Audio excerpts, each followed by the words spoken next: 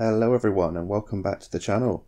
I'm it's Robby Rhino and in today's video I'm going to be reviewing one of the latest Halloween tanks for 2022 and up first is the Death Chariot which is a tier 8 premium Chinese heavy tank and this is the first chance I've had to do a review of any of the latest Halloween tanks for 2022 and it just so happens that the Death Chariot is actually my favourite. It's the one that stood out for me, and I think it's the most competitive out of the bunch, but I'll get round to the others as soon as possible. I've had a week long holiday, which was really, really nice, but also a little bit unexpected, so I left pretty quickly, and I'm back now making content, and I'll get round to the others as soon as possible. But the Death Chariot, we're going to have a look at all of the stats of the Death Chariot. We're going to compare to the 112 because that's basically what the Death Chariot is with um, a difference in the gun stats. And then we're going to have a look at my commander and equipment setup, the armor profile of the Death Chariot, and then we shall go into two gameplays, and they're pretty good gameplays, but they are also pretty indicative of the kind of games I've been having in the Death Chariot. It just seems to be working really well for me.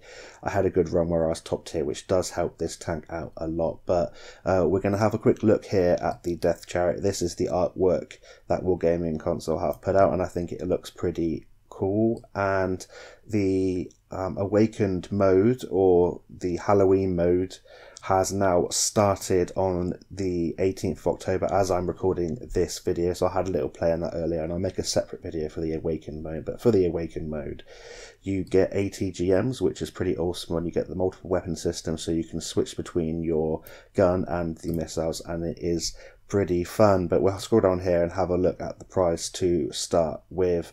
So of course you can get the treble with the Arachnid and the Asterion as well for 23 23,600 gold in the monster treble bundle. So, yeah, it's always going to be a lot of money if you want every single one of them. But if you want the Death Chariot just by itself, the base bundle is 9,200 gold, which is a 10% savings. And it's still quite a pricey, a pricey price for uh, a tier 8 premium heavy tank. It's pretty fun, but there are definitely other tier 8 heavy tanks that are more worth your while, like the Skoda T56, which is a fantastic uh, premium heavy tank, and yeah, it's much more competitive. But this is still a lot of fun, and I think the skin looks pretty nice as well. You can also get it in the fully loaded bundle for 14,100 gold, and the primed bundle for 15,800 gold, but we're going to head over to the Excel spreadsheet that I have created and have a look at the stats of the Death Chariot. I'll try and make it as concise as possible for you all, and then we'll have a look at the commander and equipment setup and the armor profile, and then the gameplay. So over here is my Excel spreadsheet that I have created to compare the Death Chariot 112 to the actual 112. First thing to note between both of these tanks is the difference in the matchmaking. So the 112 has preferential matchmaking means it only sees up to tier 9, whereas the Death Chariot can see tier 10s, which can be um, a bit of a problem for this tank, but we'll have to find out in the gameplay whether I meet any of uh, those nasty tier 10s who are going to bully me. Um, so in this spreadsheet, uh, green's the best stat, red's the worst, yellow is the highlighted updated stats with my commander and equipment setup applied. And I'll tell you what that is in just a little bit. But as it is a premium tank, it does earn bonuses. And comparing it to the 112, you can see here that it does have 5% less XP bonus at 10%, but it does have a commander XP bonus, which is a really nice addition, 25%, which is something the 112 doesn't have. In terms of the silver bonus, it's 5% less at 50%, but you still make a decent amount of silver. Although you do tend to fire, or I tend to fire anyway, quite a few um, of the heat rounds, which is the premium ammunition, so it does reduce your earnings by a little bit, but uh, for a Halloween tank, it is pretty fun. So now we're going to get stuck into the raw stats of both of these vehicles, starting with the hit points. They both have 1500 hit points, which is to be expected as they both are the same armor profile and both have 380 meters view range, which isn't too bad for a tier 8 heavy tank, and that can be boosted to a very nice level, allowing you to spot for yourself.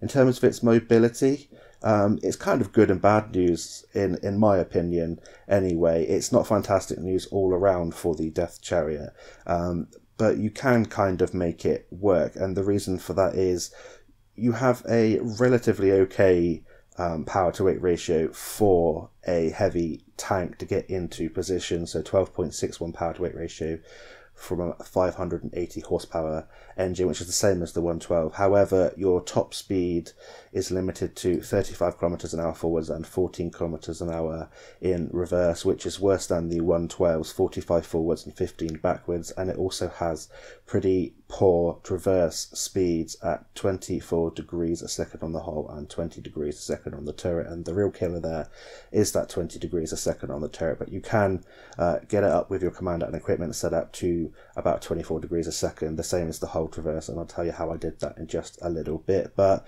um, the thing that bothers me about this is the traverse speed and the top forward speed. Apart from that, the actual power to weight ratio seems to be getting me into position fast enough or as fast as some of the other tier 8 heavy tanks. It's not the best, but it wasn't painfully slow, or maybe I was just having a good day. It's by no means the best, by no means the, the most competitive in terms of its mobility. It's worse than the 112, but you can try and boost it as much as possible with the gun handling skills that help your turret traverse. You could use the mobility equipment as we'll discuss in a little bit, but that would mean your gun handling would be even worse than it actually is on this tank. So yeah, 112 comes out on top in this comparison in terms of the mobility.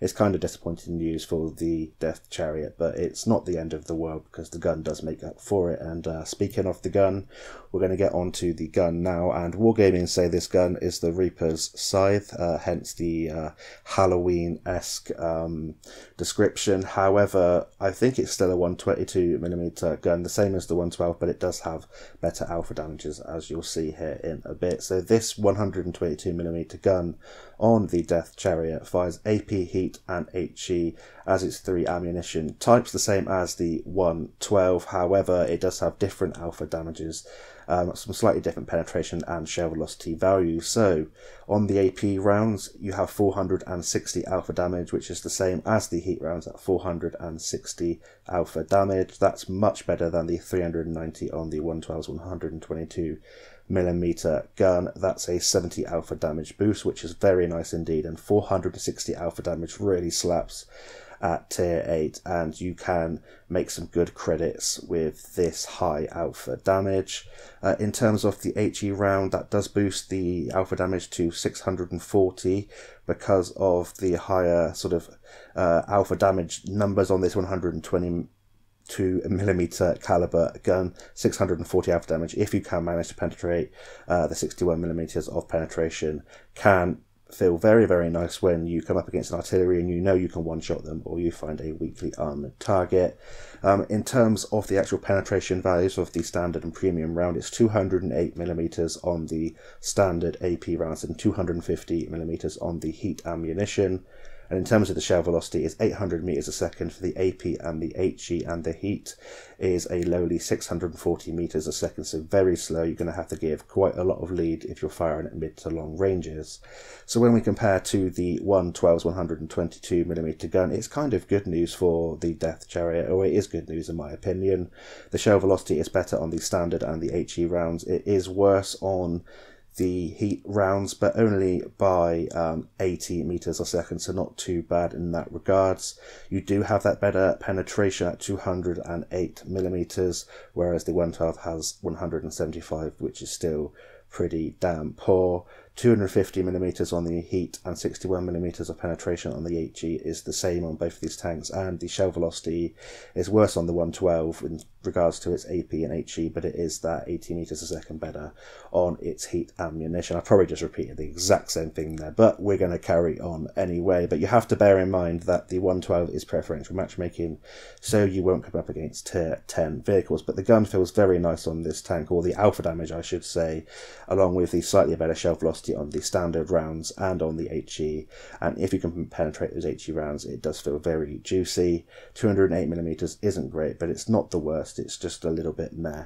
Um, 250 millimeters on the heat is quite usable. It does struggle when it comes up against super heavies at tier 10. Um, you're just going to have to do that whole flank and get good and try and get the sides of those super heavies, or you're going to have to try and track them and get around them or something like that. Um, because 250 millimeters is uh, quite hard to um, compete with something like a E100 or a Maus or a Type 5 Heavy. Uh, but apart from that, when you're top tier, those penetration values aren't too bad at all. And now we're going to get on to the uh, gun handling then of the Death Chariot. The aim time is 3 seconds. You have a 0.42 accuracy. Your rate of fire is 4, which means you have a 15 second reload. The maths works out there, and that gives you a DPM with that 460 alpha damage of 1840. Uh, you carry 45 rounds of ammunition. With this massive reload, you're gonna uh, not be running out of ammunition. You have 6 degrees of gun depression, which is quite awkward to use on many different ridge lines, and 17 degrees of gun elevation, which is pretty mediocre. That's not too bad. And when we compare to the 112, you can see here that the 112 has a 0.2 uh, second better aim time. However, the Death Chariot is the more accurate, but only by 0.02, so not a massive difference there, um, but it is slightly uh, better, and every little helps. Um, in terms of the DPM, then the Death Chariot does come out on top, but bear in mind this does see tier 10 vehicles that will rip you to shreds with their fantastic DPM. Um, and apart from that, you just have to bear in mind that, uh, again, you do have that fantastic whopping alpha damage. You do have a slight penetration increase and shell velocity increase to make it um, meet those tier 10. And it does struggle when you are bottom tier, but against tier 8, uh, or 7, 8, and 9 vehicles, it seems to do pretty damn well. Um, so, what commander and equipment setup do I run on the Death Chariot 112? Well, in terms of my equipment, I run advanced optics, advanced loader and gun stabilizer. And in terms of my commander, I run Sixth Sense, Born Leader, Rapid Loading, Steady Aim, Rapid Aim, Snapshot, Run and Gun, Track Mechanic, and Situational Awareness. In terms of my equipment, I want optics to be able to spot for myself, but you could leave this one out and choose advanced gun laying drive because of the long aim time. Um, advanced loader to improve my DPM and gun stabilizer to improve the accuracy. You could also take out the loader perhaps if you weren't worried about the DPM as much and you wanted the gun handling to be as efficient as possible to make the most of the shells when you eventually reload with the pretty hefty reload this tank has. In terms of my commander then, Sixth Sense and Born Leader is standard. I run on every single commander that I have. Rapid loading to help the DPM and every single gun handling skill I can to help the gun handling out as much as possible because it is a pretty derpy gun. Higher caliber gun with fantastic alpha damage, but yeah, very unruly indeed.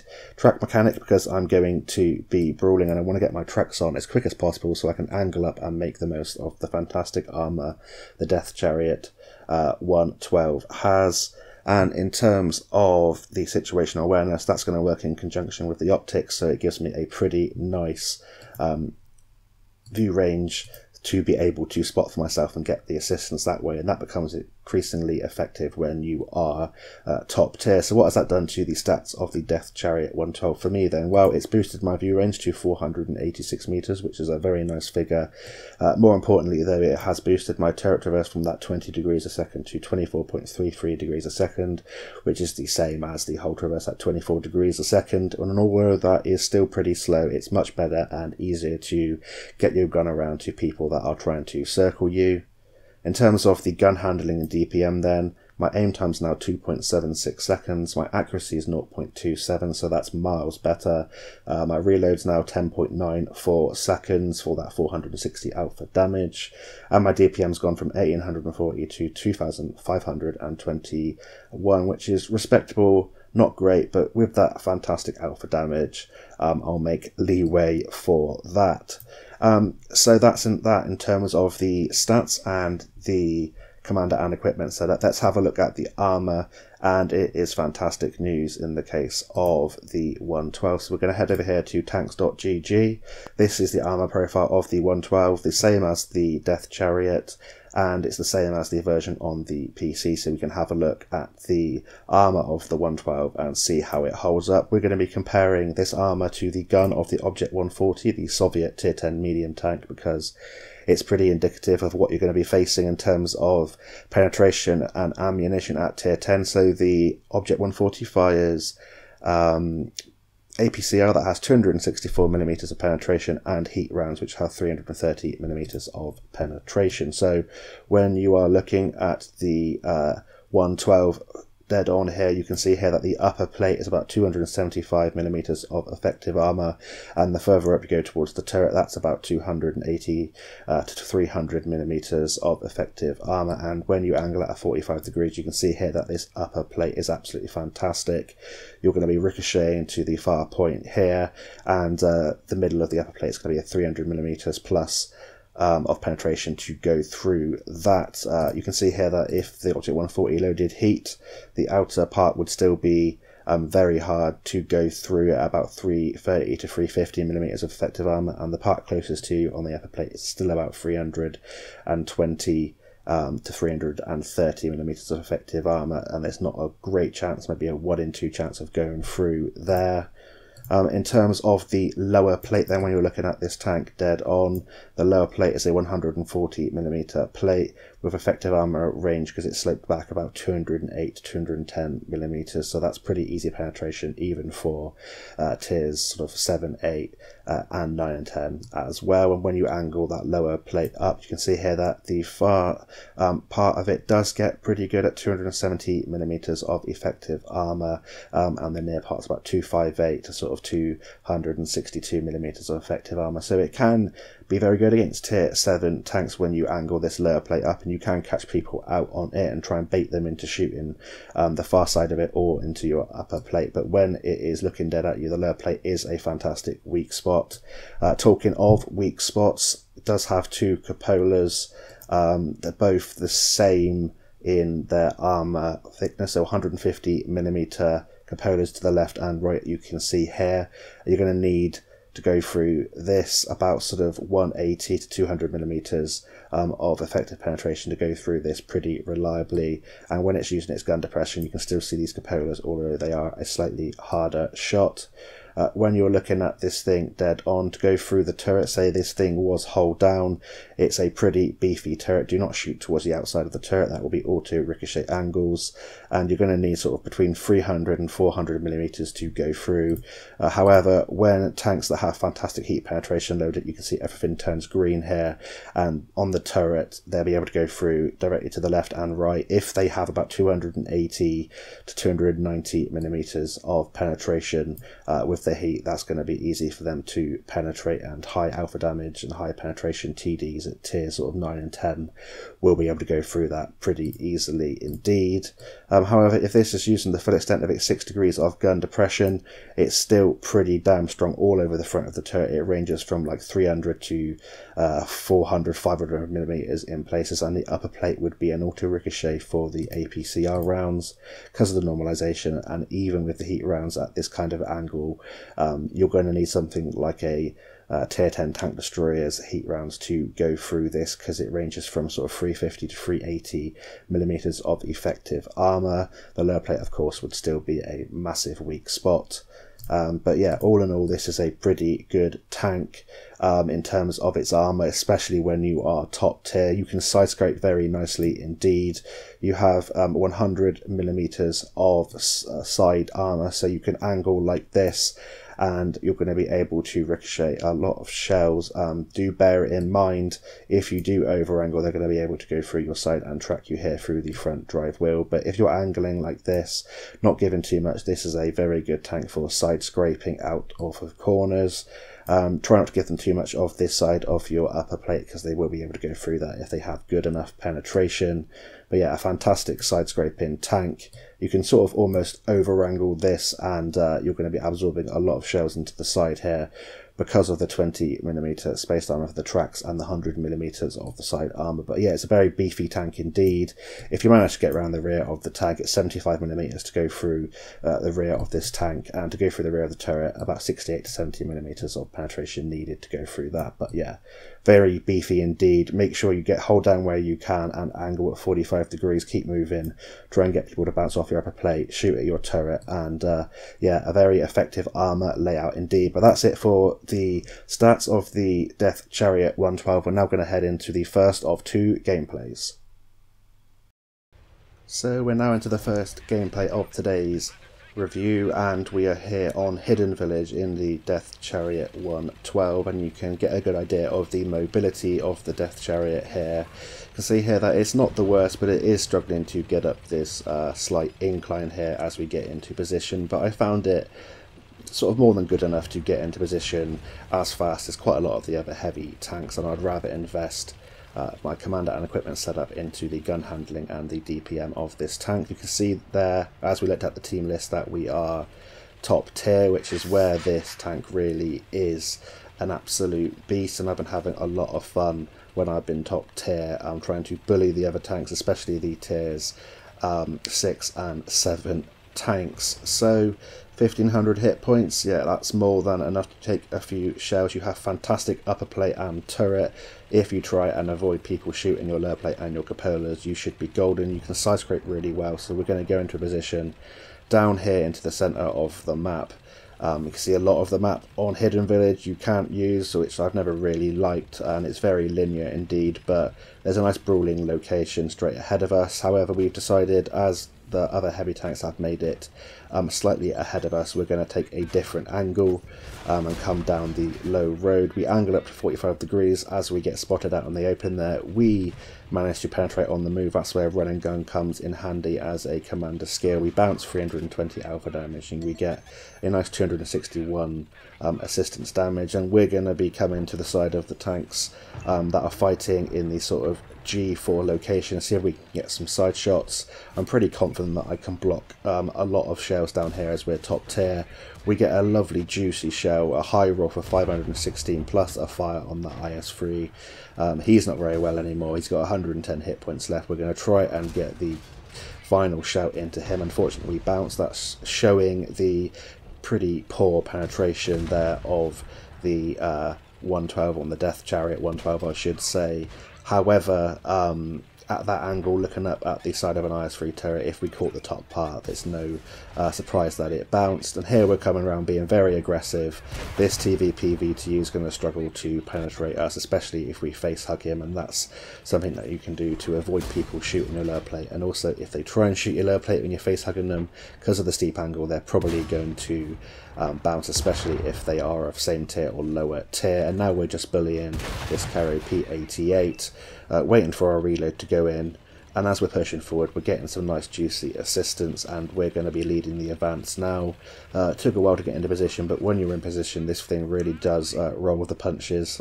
As you can see there, I run the enhanced combat rations to boost uh, the gun handling, the DPM, view range, everything about that tank passively and also actively when I activate it. We take out that 217, come round, get a shot on the move there into that uh, GW Tiger Pig. Uh, unfortunately, he does splash us and gets a snapshot off, but uh, I'll accept that as a sacrifice for his life, and then we move on. Uh, you can see here that uh, it's quite good on the move for some reason. I don't know if the dispersion values are actually really good, uh, apart from the actual poor gun handling of the Death Chariot. But I hit a lot of shells on the move in this tank. It's only when you aim in that it feels quite derpy, and you haven't seen that in this gameplay in particular, but you'll see it in the second gameplay that uh, when you aim in, it still can be really derpy and it misses shells that it really shouldn't. But on the move, it seems to be actually quite good, and I think that's just the run and gun skill and having a lucky day. You can see here that you do struggle at the end of the battle to get around the battlefield and try and get the last bit of damage. There's a full health Dragon there.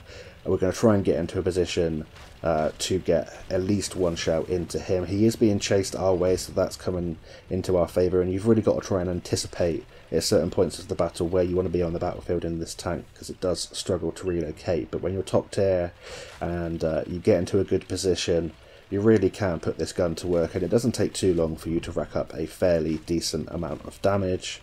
So that dragon is somehow staying alive, our Barras is probably reloading and the light tank's gone in on him. However, I believe this light tank, yep, gets his head blown off, poor T-52, uh, but we're going to avenge your death. We get a nice 498 damage roll there, so another high roll. It seems to high roll quite a lot as well. I was probably just having a really lucky session, but it really does chunk. It's an absolute chonker, and I think it looks pretty cool as well. And it's one of the best Halloween skins that I've seen for a while. Not quite as uh, ghastly as the Arachnid, which we'll get onto uh, in a later video. But in that uh, replay, we finish MVP of that team. 4k was 4k direct damage, 1000 assistance, block 880 damage, and 124,000 silver profit. So that's it for the first gameplay. Let's get stuck into the second one. We're now on Dragon Ridge in the Death Chariot 112, and out of all the maps in the game, Dragon Ridge is probably one of the worst maps for a tank that has 6 degrees of gun depression, but we're going to try and find ways to make it work, and I'll talk you through that in the gameplay. Again, we are uh, top tier, so very lucky in this play session in the Death Chariot, but as I play this more, I'm sure uh, I'm going to be getting into mid tier and bottom tier battles and I'll be putting up some more replays of this tank because I really quite enjoy it actually. I don't have a 112 myself, I've seen lots of gameplay of it, I know the upper plate's really good, but yeah, I, I find it really enjoyable. Uh, maybe I'm just in a really good mood after my holiday. You can see there that we struggled to get up on that incline, but now you're on level ground. We're getting into a position. Going to go to a typical spot where a lot of tanks are spotted at the start of the game here in that sort of E7 location coming here from the south spawn.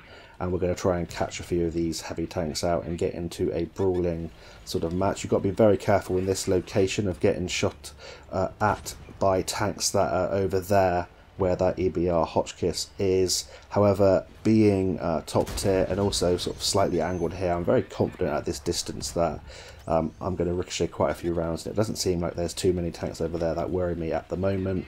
And I can always push slightly more forwards uh, and use the destructible buildings in front of me uh, slightly to the left as cover.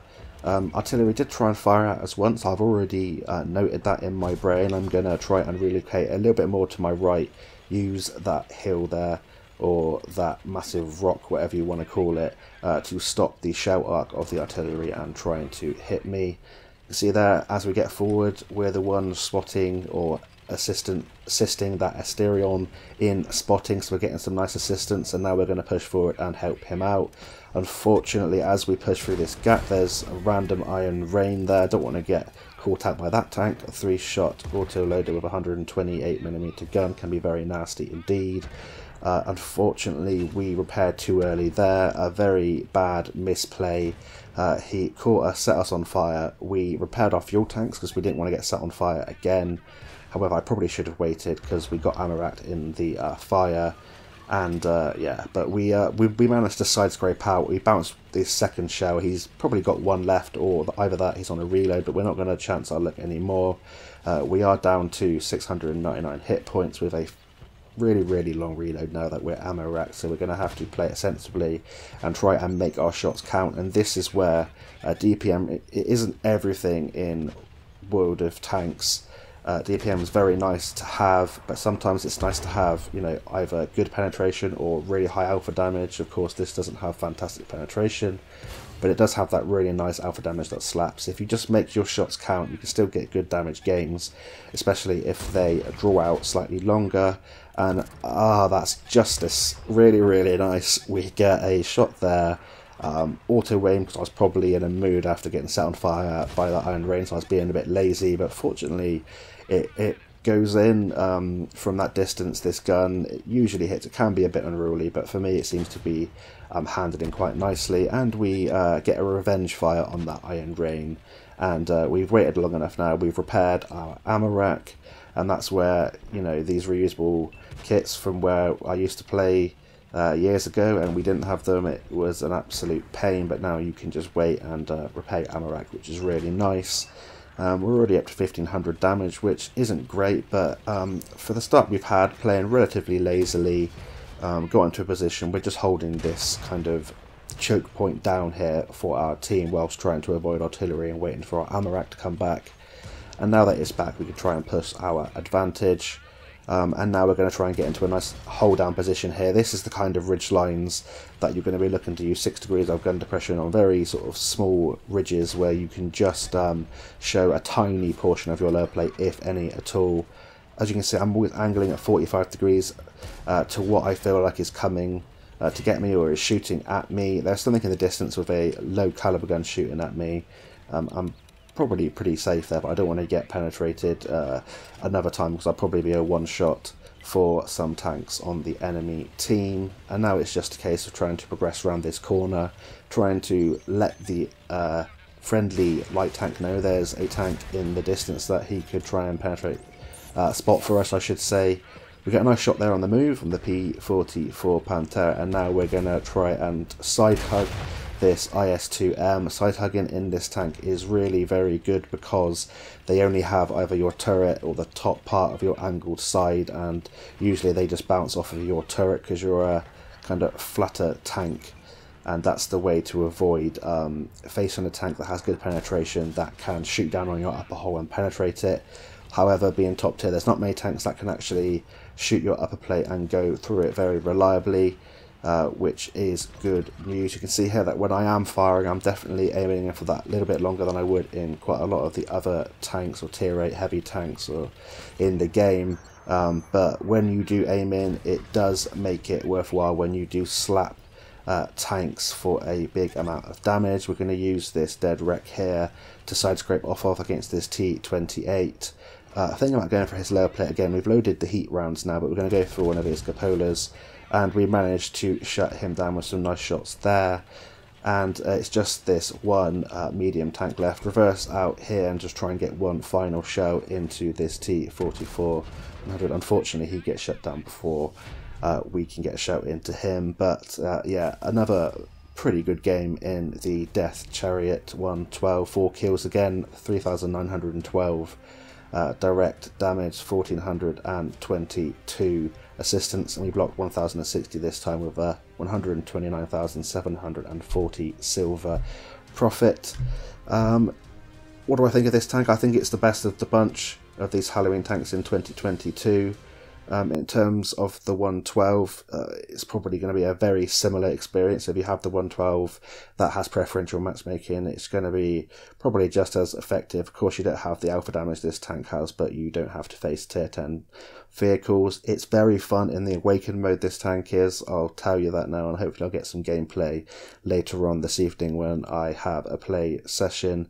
But I think it's a pretty solid tank, very expensive for what it is uh, but good nonetheless. Don't be fooled into shooting the upper plate because this thing is immensely strong. With the 6 degrees of gun depression, to make that work, all you have to do is try and wedge your tank up, find those lower profile ridge lines, keep moving on ridge lines, angle at 45 degrees, side scrape, and uh, yeah, typical heavy tank play. So that's it for this review. Thank you all so much for your support. Thank you for watching, and until next time, I'll see you on the battlefield, and bye for now.